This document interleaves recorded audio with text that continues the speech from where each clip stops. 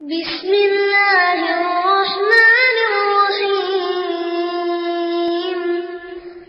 إذا جاء نصر الله والفتح ورأيت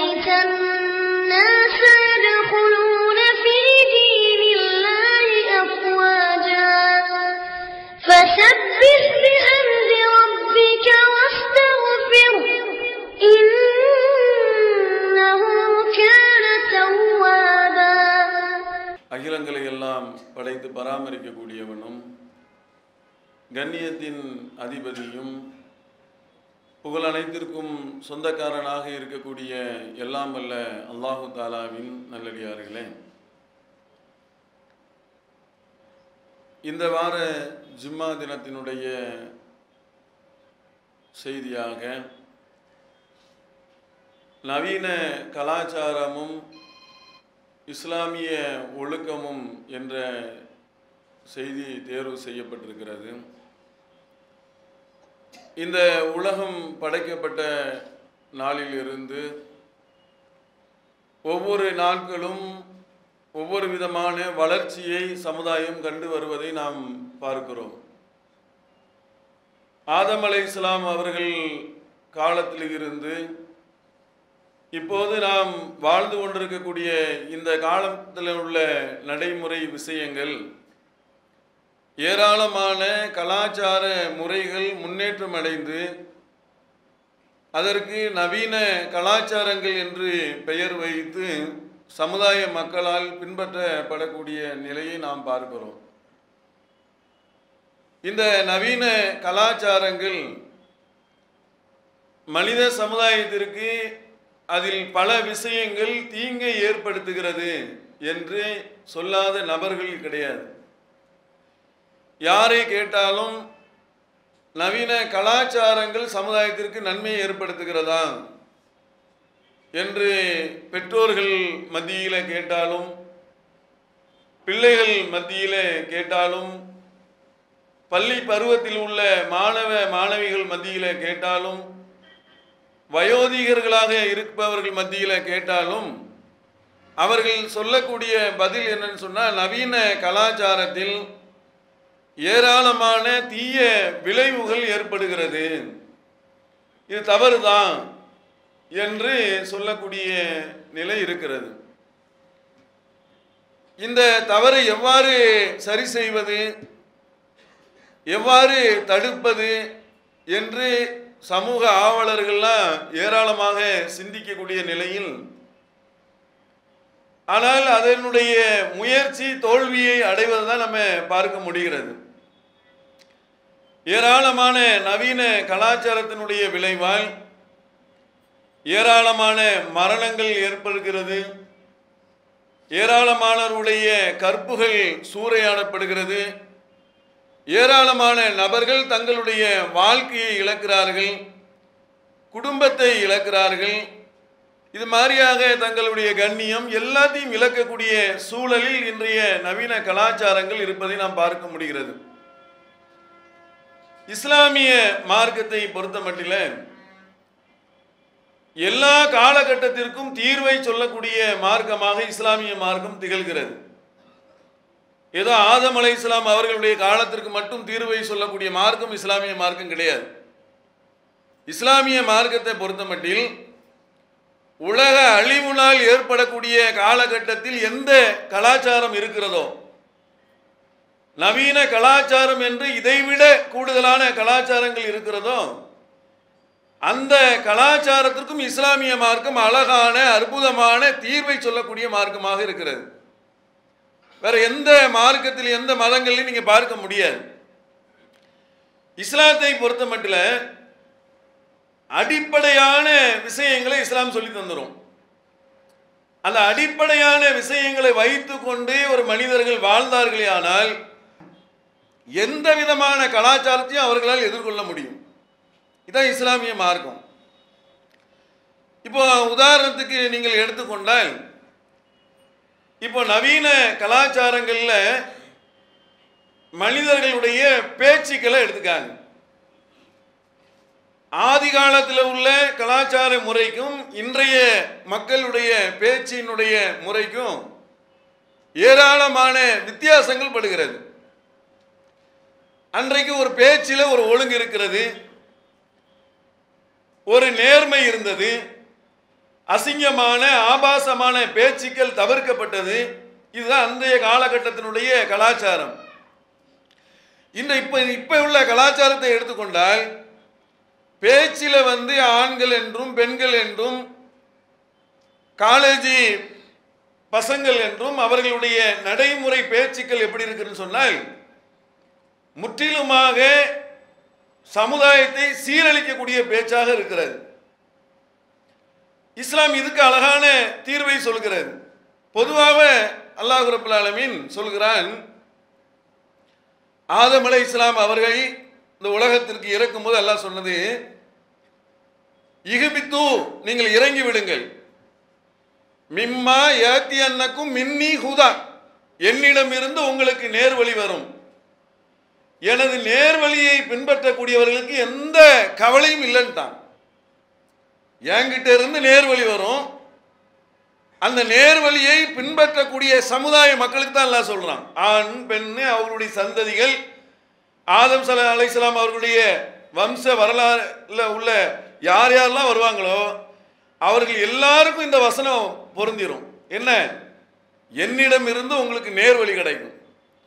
நேர்வழியை பின்பற்றினால் உங்களுக்கு கவலை இல்லை அச்சம் இல்லை பயம் இல்லை. புதிய கலாச்சார சீரழிவு என்ற பயம் ஏற்பட வேண்டிய அவசியம் கிடையாது.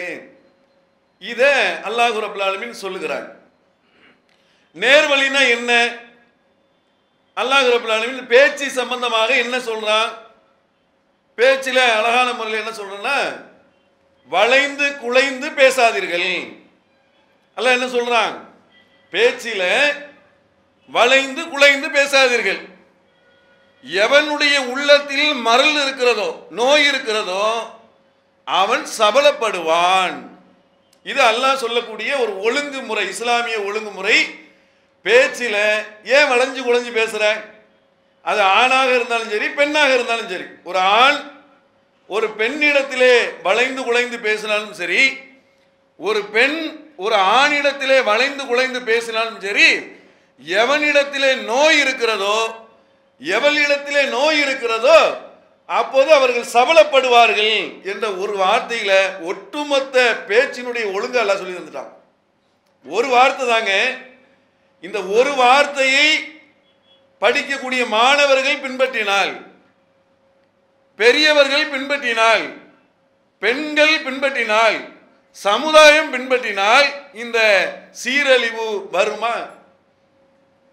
டிவியில் உட்காந்துட்டு பேசுறாங்க. என்ன? நீ உங்களுக்கு என்ன சுதந்திரம் வேண்டும்? அப்படின்னு பெண்கள் கையில் மயக்க கொடுக்குறாங்க. மயக்க கொடுத்த உடனே அந்த பெண்கள் அதை வாங்கி என்ன சொல்கிறாங்கன்னா நாங்கள் பாய் ஸ்டூடெண்டோட ஒரு மூணு மணி நேரம் அரட்டை அடிக்கணும். மூணு மணி நேரம் பாய் ஸ்டூடெண்டோட தனியாக அரட்டை அடிக்கணுமா? சேட்டிங் செய்யணும். இல்லை வந்து வேறு இடத்துக்கு சுற்றுலா தலங்களுக்கு சுத்தணும். என்று கொஞ்சம் கூட வெக்கம் இல்லாமல் ஒரு மானம் இல்லாமல் ரோசம் இல்லாமல் நம்முடைய மானம் அடகு வைக்கப்படுகிறதே என்று நினைக்காமல் உலகத்தில் உள்ள எல்லாரும் பார்க்கக்கூடிய ஒரு சபையில் உட்கார்ந்து வெளிப்படையாக வெட்கக்கேடான வார்த்தைகளை பேசுகிறார்கள் பெண்களும் ஆண்களும். அதுக்கு ஒரு டிவி சேனல் ஒன்று ஏற்படுத்தி கொடுக்குறான் அதுக்கு பேசுறதுக்கு ஆட்களுக்கு வாய்ப்பை கொடுக்குறான் அதை பார்த்துட்டு ரெண்டு பேர் உட்காந்து சிரிக்கிறாங்க. ஆ நல்ல அழகாக என் புள்ள பேசுது. இது நல்ல அழகான புள்ளி அந்த புள்ள தான் நாளைக்கு சீரழிஞ்சு போகுது. அதுதான் சீர்கேட நோக்கி போகுது. இஸ்லாமிய மார்க்கம் அழகான அற்புதமாக சொல்லிட்டு ஏன் வளைஞ்சு குழஞ்சு பேசுகிற பேசுவதற்கு தகுதியான ஆட்கள் அவர்கள். அவர்களிடத்தில் உங்களுடைய கருப்புக்கு மதிப்பு இருக்கிறதா? பாதுகாப்பு இருக்கிறதா?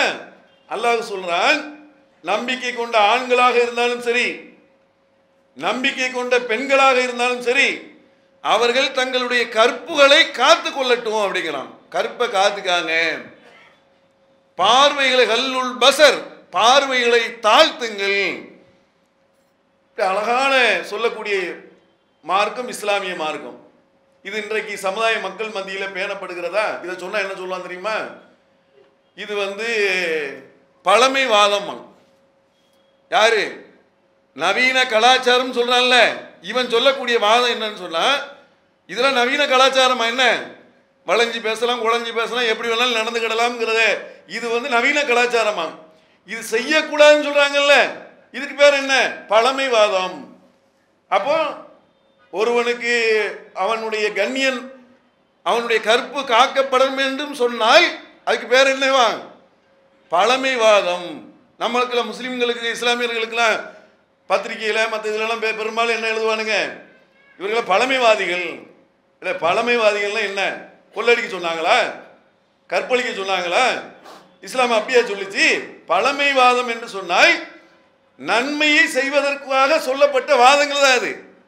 இவன் புதிய கலாச்சாரம் என்ற பெயரில் தீமையான விஷயங்களை விளைவிக்க விட்டு அந்த பழமையான வாதங்களை வந்து முறையடி செயல்களை சர்வசாதாரணமாக எல்லா இடங்களிலும் செய்யக்கூடிய நிலையை பார்க்கிறோம். இது பேச்சில் நிறைய சொல்லலாம். பேச்சில் நிறைய இருக்கிறது.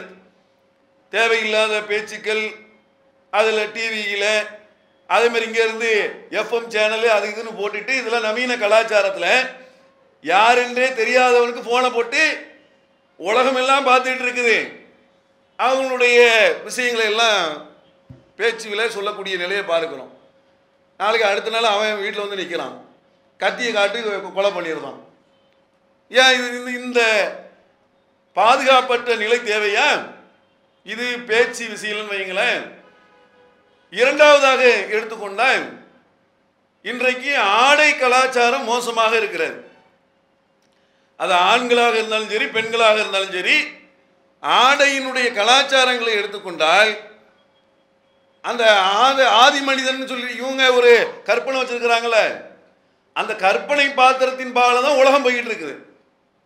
கற்பனையாக ஒரு வச்சுக்கிட்டு அந்த காலத்தில் மனிதன் வந்து நிறைய ட்ரெஸ் போட்டான்.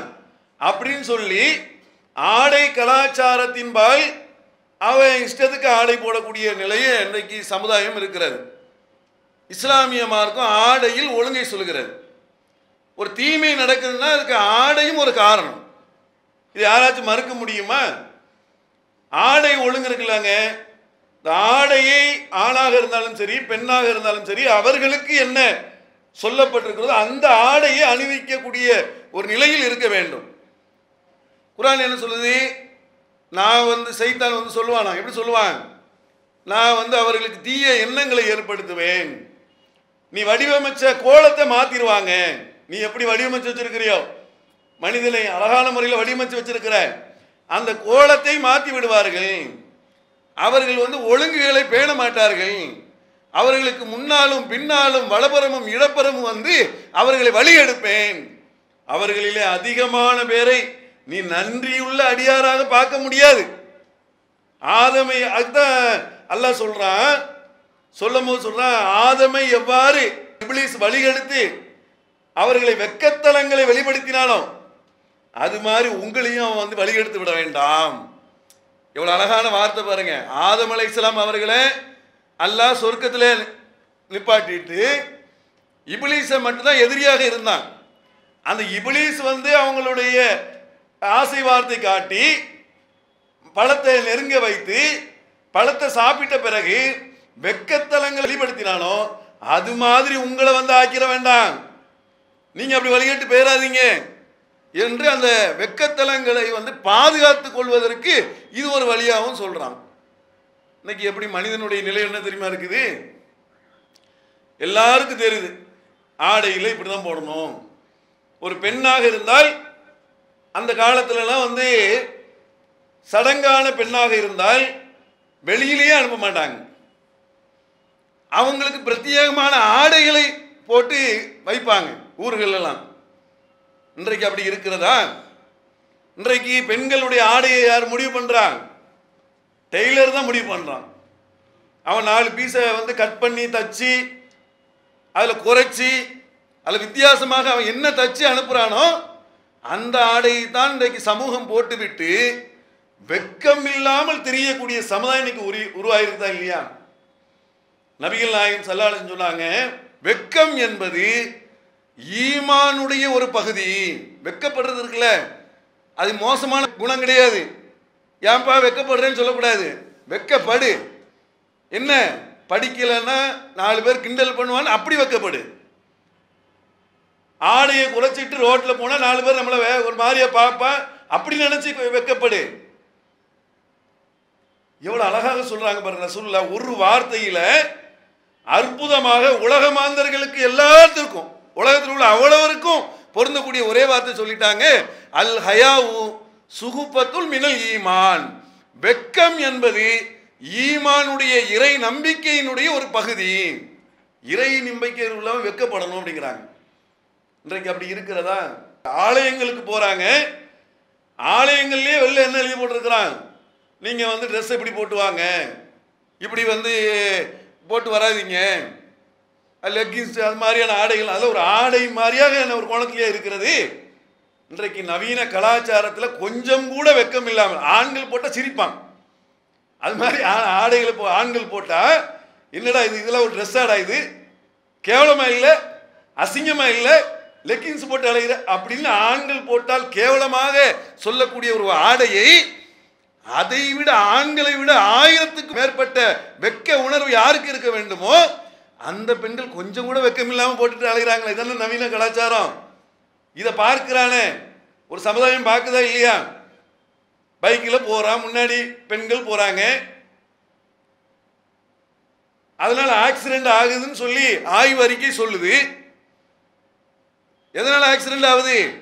தீய அளவில் அந்த பெண்களுடைய ஆடை ஆண்களுடைய கவனத்தை திருப்புகிறது. டிரைவிங் பண்ணிட்டு போகிறான் டிரைவிங் பண்ணிட்டு போறவனுடைய ஆடை அவனுடைய கவனத்தை திருப்புகிறது. அதனால் ஆக்சிடென்ட் ஆகுதுன்னா அதுக்கு யார் காரணம்? அந்த பெண்கள் காரணம் தானே? நவீன கலாச்சாரம் காரணம் தானே? இஸ்லாமிய மார்க்கம் அழகான முறையில் சொல்லுது இது மாதிரியான ஆடைகளை நீங்கள் அணியாதீங்க. வீட்டில் கணவனுக்காக அணிஞ்சிக்காங்க அது பிரச்சனை இல்லை. ஆம்பளையும் ஆம்பளையும் அப்படிதான் இருக்கிறான் ஆம்பளோடைய ட்ரெஸ் போட்டி போட்டுக்கிட்டு அவன் ஒரு விதமாக அவன் வித்தியாசமாக அவனுடைய ஆடை வேறு மாதிரி போயிட்டு இருக்குன்னு வைங்களேன். இல்லை இஸ்லாம் வந்து என்ன சொல்லுதுன்னா ஒட்டுமொத்தமாக ஆடைக்கு சொல்லக்கூடிய வார்த்தை என்னன்னு சொன்னால் வெக்கப்படுங்க. வெக்க உணர்வு இருக்கணும். அதுதானுங்க ஆடையை போடுறான். ஆடையே எதுக்கு போடுறான் அதில் வேற இவங்க வேற பெரிய மாதர் சங்கம் அது சங்கம் இது சங்கம்னு வச்சுக்கிட்டு அந்த பெண்களுடைய உரிமைகளுக்காக பாடுபடுறேன்னு சொல்லிட்டு அவர்களை அறியாமலேயே அந்த பெண்கள் ஏமாற்றப்படுகிறார்கள் ஏன்? நீங்க உரிமை உரிமைன்னா என்ன உரிமை? யாருக்கு என்ன உரிமை? இஸ்லாம் வந்து பெண்களுக்கு பருதா ஆடையை கொடுக்குத அது உரிமைக்கு எதிரானது அல்ல. அதுதான் அவர்களுக்கு உண்டான உரிமை. அதுதான் அவர்களுக்கு உண்டான கண்ணியம். அதுதான் அவர்களுக்கு உண்டான நல்ல ஒரு நேர்த்தியை ஏற்படுத்தி கொடுக்கும். இஸ்லாம் பர்தானியை ஆடையை வந்து கொடுக்கறது. பெண்களே நீங்க ஆடையை நீங்க போட்டுக்காங்க. முந்தானையை போட்டுக்காங்க. அதன் மூலியமாக நல்ல பெண்கள் என்று அறியப்பட வேண்டும் என்பதற்காக போட்டுக்காங்கிறான்ல எது? நல்ல பெண்களுடைய இலக்கணம் என்னன்னு சொன்னா தங்களுடைய ஆடையை ஒழுங்காக போடுறது நல்ல பெண்களுடைய அடையாளம் நல்லா சொல்கிறானே இது இன்னைக்கு சமூகத்தில் இருக்குதா? சினிமாவில் உள்ளவனுடைய சினிமா நடிகர்கள் என்னென்ன பண்ணுறாங்களோ அதை பார்த்து குடும்ப பெண்கள். டிக்டாக்னு ஒரு நவீன கலாச்சாரம் வந்திருக்கிறது. அது வீட்டில் உள்ள கணவன் மனைவி பிள்ளைங்க எல்லாரும் சேர்ந்து அந்த டிக்டாக்கினுடைய விஷயங்களை வீழ்ந்து அதில் ஆடை குறைப்புகள்லாம் ஏற்படுத்தி அது உலகம் முழுவதும் போகுது. இன்றைக்கு மறைவுன்னு ஒன்றே கிடையாதுங்க. இன்றைக்கு உலகத்தில் மறைவுன்னு ஒன்று இருக்கக்கூடிய சூழல் இல்லாத அளவிற்கு உலகத்தில் எல்லா மக்களும் பார்க்குற மாதிரி தான் இன்னைக்கு பல புதிய கலாச்சாரங்கள் பெருகிட்டு இருக்குன்னு வருங்காலம் எப்படி இருக்குன்னு தெரியல. ஆனால் இஸ்லாம் வந்து இதுக்கெல்லாம் வந்து ஒழுங்குமுறை அழகான சொல்லுது. எந்த அளவுக்கு பாருங்களேன். இப்போ நண்பர்களை தேர்வு செய்கிறாங்க அப்படிதானே? நண்பர்களை என்ன செய்கிறாங்க ஒரு காலத்தில் நண்பர்களை தேர்வு செஞ்சா அவன் எழுபது வருஷம் வாழ்ந்தாலும் சரி ஒரு ரெண்டு நண்பர் தான் அவனுக்கு நட்பாக இருப்பான். என் ஃப்ரெண்டு என் உயிருக்கு உயிரை நண்பனுங்க அப்படிம்பான். அப்படிதானுங்க? ஒரு காலத்தினுடைய பழக்க வழக்கம் அப்படின்னு சொன்னால் என் உயிர் நண்பன்? அன்றைக்கு சின்ன வயசுலேருந்து என் கூட படித்தான் என் கூடயே இருந்தான். எனக்கு பல விஷயங்களுக்கு உதவியாக இருந்தான். அவனுக்கு நான் உதவியாக இருந்தேன். ரெண்டு பேரும் நாங்கள் இணை பிரியாத நகமும் சதயமான நட்பு அப்படின்னு சொன்ன காலம்லாம் போய் இன்றைக்கு காலம் என்ன தெரியும்ல? எவனும் தெரியல எவனும் தெரியல. ஆட் ஃப்ரெண்டு நான் உங்களுக்கு ஆட் ஆகிக்கிறேன் உங்க கூட சேர்ந்துக்கிறேன். அது ஆணு பெண்ணு ம யாருன்னு தெரியல. உள்நாடு வெளிநாடு எவருன்னே தெரியாதவர்கள்லாம் ஆடு ஃப்ரெண்டு ஆடு ஃப்ரெண்டு நட்பு. என்னங்க எனக்கு நட்பு ஃபேஸ்புக்கில் ஐயாயிரம் நட்பு இருக்குல்ல? ஐயாயிரம் பேர் ஃப்ரெண்டாக இருக்கிறாங்கல்ல? வாட்ஸ்அப்பில் ஃப்ரெண்டாக இருக்கிறாங்கல்ல? சம்மந்தமே இல்லாமல் ஒரு இரநூறு பேரை சேர்க்குற நம்மளையும் சேர்த்து விட்ற. யாரா நீ யார்? என்ன சேர்க்குறதுக்கு நீ யார்? என்கிட்ட கேட்டியா? ஏன் அனுமதியை கேட்டியா? வாட்ஸ்அப்பில் நீ சேர்க்குறியே? நீ புது புதுசு புதுசாக வந்து செய்திகளை போடுறியே? அந்த நட்பு வட்டாரத்தில் நான் வரணும் என்பதற்கு என்கிட்ட அனுமதி கேட்டியா? அனுமதி இல்லாத நட்பு உள்ள கலாச்சாரம் இது. அனுமதி பெற்று அந்த நட்பை பரு வலுப்படுத்துவதற்கான உண்டான கலாச்சாரம் என்பது ஆதிகாலம் பழைய கலாச்சாரம். அதற்காக உயிரை கொடுத்த நட்புலாம் உண்டு. இன்னைக்கு உயிரை எடுக்கக்கூடிய நட்பு தான் இன்றைக்கு இருக்கிறது. இந்த இப்போ பொள்ளாச்சி சம்பவத்தில் அங்கே உள்ள பாலியல் குற்றவாளிகள் சென்னையில் உள்ள ஒரு மருத்துவ டாக்டரோட பெண் டாக்டரோடு ஃபேஸ்புக்கில் நட்பாகி அந்த பெண் ப- டாக்டருடைய வாழ்க்கையை இழந்துச்சேன் இது நட்பா இது? எவ்வளோ ஆபத்தான நட்பு. நபிகள் நாயகம் சல்லாலேசன் அழகாக சொல்கிறாங்க எப்படி சொல்கிறாங்க பாருங்க. நட்புக்கு அழகான இலக்கணம் சொல்கிறாங்க நல்ல நண்பன் என்பவன் கஸ்தூரி மனத்தை போன்றவன். கெட்ட நண்பன் என்பவன் கொல்லப்பட்டவன் போன்றவன் அப்படின்ட்டாங்க. நல்ல நண்பனாக இருக்கான்னு வைங்க. கஸ்தூரி மனத்தை. ஒரு கஸ்தூரி விற்கக்கூடிய ஒரு கடையில் போய் உட்கார்ந்து பேசி அப்படி வந்து அந்த வாசனைகள்லாம் நமக்கு வரும்ல. அவனுடைய பண்புலாம் நமக்கு வரும்ல? அதாவது அந்த வாசனை. அது மாதிரி நல்லவனுடைய நட்பு அவனுடைய பண்புகள் நமக்கு வருமாம். தொழக்கூடியவனா இருக்கான் நோன்பு வைக்கிறவனாக இருக்கிறான் ஜக்காத்து கொடுக்குறவனாக இருக்கிறான் இது மாதிரி நன்மையை ஏவுறான் தீமையை தடுக்கிறான் இப்படிப்பட்ட நட்பு இருந்தால் இது நன்மை நல்ல நட்புக்கு இழக்கணும்ட்டாங்க. தீய நட்பு என்பது கொல்லப்பட்ட எண்ணெய். அதாவது இந்த கறி போட்டு லாடம் அடிக்கிறதுக்காக அதுக்குன்னு கொல்லப்பட்ட வச்சு கறி போட்டு பண்ணுவாங்க. அந்த சந்தைகள் எல்லாம் இருக்கும். இப்போ அது வேற மாதிரி மாறி போச்சு. பற்றை. இந்த பற்றையில் போய் ஒருத்தன் போய் உட்காந்து பேசிட்டு வரான்னு வைங்க. அவன் கறிலாம் உடம்பு நம்ம உடம்பு ஓட்டிக்கிடும் நம்ம வெள்ளை சட்டை போனால் வரும்போது உடம்பெல்லாம் என்ன ஆகும் கரு கருன்னு ஆயிரும். அது உதாரணத்துக்கு சொல்லுவாங்க பற்றைய மட்டத்துக்கு சொல்லலை. ஒரு ஒர்க் ஷாப்பில் போய் உட்காந்து நம்ம நண்பரோடு உட்காந்து பேசிட்டு வந்தால் அந்த ஒர்க் ஷாப்பில் உள்ள அந்த அழுக்குகள் நம்ம மீது படியும்ல. அது நட்புக்கு சொல்றாங்க தீய நட்பு போல போல. அந்த தீயவர்கள் செய்யக்கூடிய காரியங்கள் எல்லாம் நம் மீது வந்து படியும். அவன் செய்யக்கூடிய காரியங்கள் எல்லாம் நாமும் குற்றவாளியாக ஆகிருவோம். அழகான முறையில் அற்புதமாக அல்லாஹ் ரபுல்லாலும் திருமறை குரான்ல சொல்றான். எப்படி சொல்றான் பாருங்க? நல்ல நட்புக்கும் தீய நட்புக்கும் உள்ள வித்தியாசம் சொல்றான். நீங்க வந்து அழகிய பரிந்துரை செய்பவருக்கு அதில் பங்கு உள்ளது. தீய பரிந்துரை செய்பவருக்கு அதில் பங்கு உள்ளது. நட்பு ரீதியாக பரிந்துரை செய்யக்கூடியவர்களாக இருந்தாலும் அதில் நல்லவர்களைத்தான் நம்ம ப- தேர்வு செய்யணும். இன்னைக்கு நல்லவர்களை தேர்வு செய்யக்கூடிய நிலை இருக்குதா? அதனால தானேங்க கலாச்சாரம் மோசடியாக போய்கிட்டு இருக்கு யாருன்னே தெரியாது. சம்பந்தம் இல்லாமல் நட்பாகி அந்த நட்பை நம்பி ஃபேஸ்புக்கில் நட்பாகி அந்த நட்பை நம்பி சென்னைக்கு வரக்கூடிய பெண்கள் இருக்கிறாங்க ஆண்கள் இருக்கிறாங்க. சென்னையில் இருந்தோ இல்லை வேறு வேறு ஊர்களில் இருந்தோ. என்ன? ஃபேஸ்புக்கு நண்பர்கள் நண்பர்கள் வாட்ஸ்அப் நண்பர்கள் அந்த நண்பர்கள் இந்த நண்பர்கள்னு அதை வந்து செய்யக்கூடிய இதை பார்க்குறோம். அதேமாரி எல்லாம் குரான்லேயும் இதை சொல்கிறான் அதாவது வந்து நண்பர்களில் இந்த இரண்டு விதமான நண்பர்கள் நல்ல விஷயங்களுக்கு நல்ல காரியங்களில் இருந்துன்னு சொன்னால் அதில் வந்து நன்மையிலையும் இறையச்சத்திலையும் ஒருவருக்கொருவர் உதவி கொள்ளுங்கள் பத்த ஆவணும் அலல் பிர்ரி வ தக்குவான் வளாத்த ஆவணும் அலல் இஸ்மி வல் உதுவான். பாவத்திலும் வரம்பு மீறுவதிலும் ஒருவருக்கொருவர் உதவி கொள்ளாதீர்கள் அப்படின்னு நல்லா சொல்லிட்டான். அப்போ இது நட்புக்குடைய இலக்கணம் தானே? இஸ்லாம் சொல்லக்கூடிய நட்பு தானே? இன்றைக்கு சமூக கலாச்சாரம் எப்படி இருக்கிறது? எதுக்குன்னே தெரில நீ எதுக்கு இப்போ அந்த ஆர்ப்பாட்டத்தில் போய் கலந்துக்கிட்ட காலேஜ் பசங்களாம் போனாங்க நானும் போயிட்டேன். ஏ எதுக்கு அது என்ன? என்ன தீமையை தடுப்பதற்காக நீ போனிய? இல்லை எல்லாரும் போனாங்க நானும் போனேன். எல்லாரும் வந்தாங்க நானும் வந்தேன். இதுதான் இன்றைய கலாச்சாரமாக இருக்கிறது. அதில் ரொம்ப கவனமாக நண்பர்களை ஆதியிலிருந்து இன்னைக்கு வரைக்கும் நண்பர்களை தேர்வு செய்வதற்கு இஸ்லாம் அழகான வழிமுறையை சொல்லி கொடுத்துட்டு தீய விஷயங்களில் உள்ளவங்கள்ட்ட நீ சேர்ந்துடாத கூட்டு சேர்ந்துடாத காலேஜாக இருந்தாலும் சரி வீடாக இருந்தாலும் சரி நண்பர்களை மற்ற சமூக இயக்கங்கள் சம்- சம்பந்தமான விஷயங்களாக இருந்தாலும் சரி அவர்களோடு இணக்கத்தை நீ ஏற்படுத்தி கொண்டாய் அதனுடைய பாதிப்பு உன்னையும் சேரும். இன்னைக்கு நவீன கலாச்சாரத்தில் அந்த நண்பர்கள் மூலியமாகத்தான் அதிகமான பேர் வழிகிடுறான் எல்லாம் கெட்டவனாக பிறக்கிறது கிடையாது. எல்லாமே கெட்டவன கொலகாரன பிறந்தானா? இப்போ பத்து பேர் பாலியல் ரீதியாக பொள்ளாச்சியில் பிடிபட்டான்னு சொன்னால் அந்த பத்து பேரும் பிறக்கும் போதே பாலியல் ரீ- குற்றவாளியாக பிறந்தான் நபிகள் நாயகம் சொல்லான்னு சொன்னாங்க அழகா எல்லா குழந்தைகளும் இஸ்லாத்தில் தான் பிறக்குது. நல்லவர்களாக தான் பிறக்கிறது. ஆனால் அவங்க வளர்க்கக்கூடிய பெற்றோர்கள் தான் அவர்களை தவறான வழியில் விட்டுருதாங்க. யூதர்களாகவோ நசராணியர்களாகவோ நீங்கள் ஆயிருதாங்க சொன்னாங்களா இல்லையா?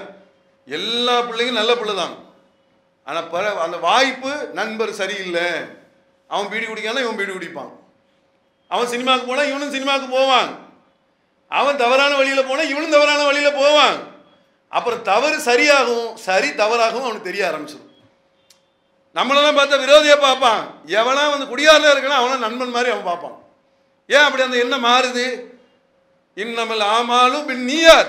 செயல்கள் அனைத்தும் எண்ணங்களை பொறுத்து தான் எண்ணம் சரியாக விதையாக ஒரு சூழ்நிலை இல்லை என்று சொன்னால் அது தவறான கலையாகத்தான் அது வளரும். அப்போ அந்த மாதிரியான நட்பு ரீதியாக இன்றைக்கு கலாச்சாரம் சீர்கழிஞ்சு கிடக்கிறது. அதில் நாம் கவனமாக இருக்க வேண்டும். அது ஒரு விஷயம். அதே மாதிரி பெற்றோர்களாக இருக்கக்கூடியவர்கள் அவர்களுக்கு மிகப்பெரிய பொறுப்பு இருக்கிறது. இன்றைய நவீன கலாச்சாரத்தில் பெற்றோருடைய பங்கு ரொம்ப முக்கியமானது. அவர்கள் நமக்கு என்ன? எவனோ நம்ம பிள்ளை ஏதோ பெத்தோம். அது பாட்டு வளர்ந்து அது பாட்டுக்கு ஆளாகி அதுவாக உருவாகி அதுவாக நடந்துக்கிட்டுன்னு சொல்லி அந்த பெற்றோர்கள் தீய கலாச்சாரத்தில் பிள்ளைகளை வளர்க்குறாங்க. ஏன்? அங்கே சினிமாவில் இது டிவியில் வந்து டான்ஸ் ஆட கூப்பிட்றான். கூப்பிட்டுட்டு போய் பிள்ளைகளை கொண்டு விட்டு அசிங்கமான பாட்டுக்கு சிறுவர்களையும் சிறுமிகளையும் ஆட விட்டு யாருங்க? பெத்த பிள்ளை. பெத்த பிள்ளைகளை வந்து அசிங்கமான ஆபாசமான பாட்டுகளுக்கு ஆட விடலாமா? அதுக்கு தான் நீங்கள் பெத்தீங்களா? அதுக்கு தான் நீங்க வளர்க்குறீங்களா? அது நாளைக்கு தீய விளைவை ஏற்படுத்தக்கூடிய குழந்தைகளாக சமூகத்தில் உருவானால் அதுக்கு யார் பொறுப்பு? நீங்க தான் பொறுப்பு. ஆனால் இன்னைக்கு டிவிலையும் சினிமா என்ன இருக்குது?